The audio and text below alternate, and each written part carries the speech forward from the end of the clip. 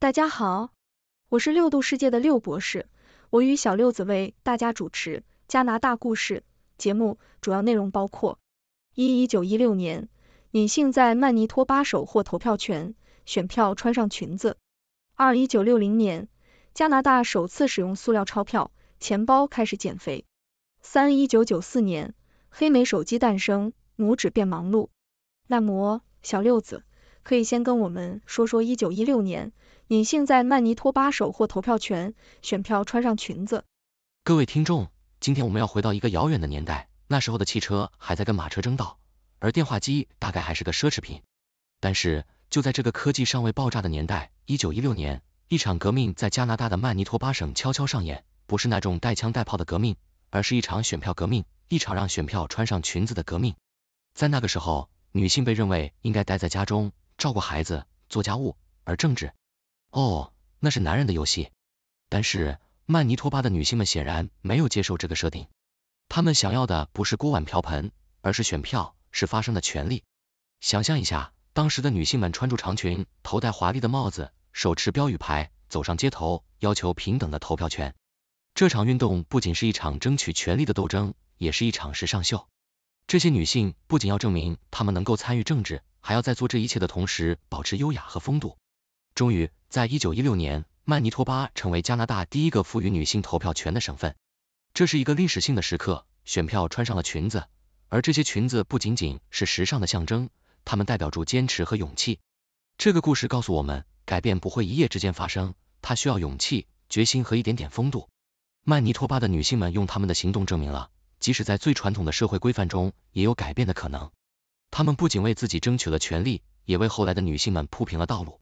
所以，下次当你看到选票时，不妨想一想，这不仅仅是一张纸，这是一段历史，是一场革命，是选票穿上裙子的故事。而这些裙子，哦，它们可是比任何时尚秀上的服装都要强大。谢谢小六子的介绍。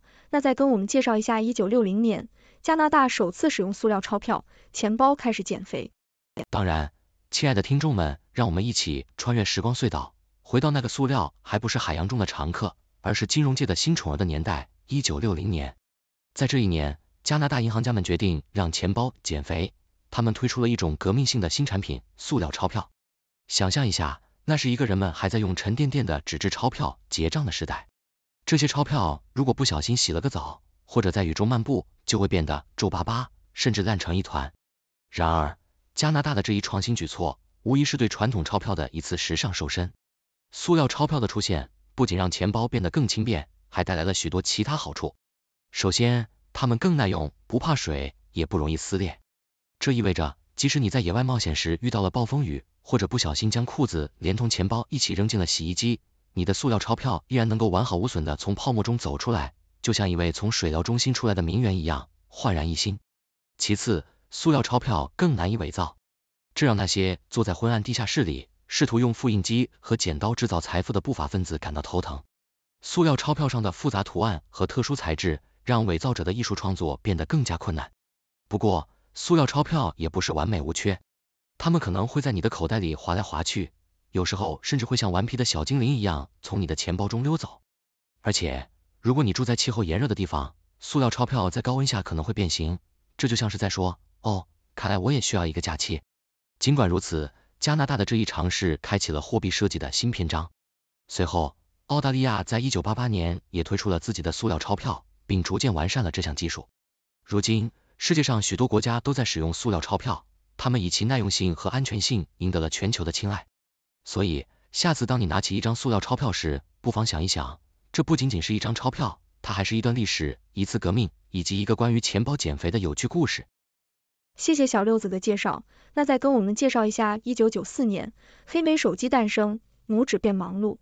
各位同学、朋友们，今天我们要回顾的是一个让我们的拇指变得异常忙碌的历史时刻，那就是一九九四年，一种名为黑莓的神奇装置诞生了。这不仅仅是一部手机，它几乎成为了商务人士的第二个大脑，甚至可以说它是拇指健身房的开创者。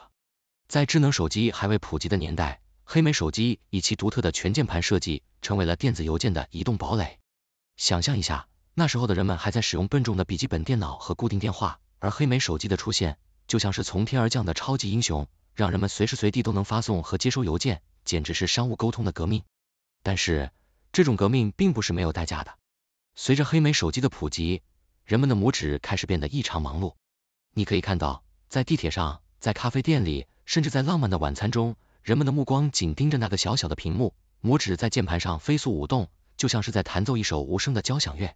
有人甚至戏称，黑莓手机是拇指的健身教练，因为使用它需要的指力和速度，简直可以让你的拇指参加奥运会了。